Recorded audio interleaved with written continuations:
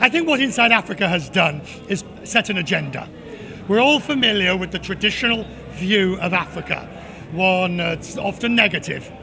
But through Inside Africa, we are able to focus and feature the uplifting, the aspirational, the breaking ground. Now, over the years, it has done that across a variety of subjects.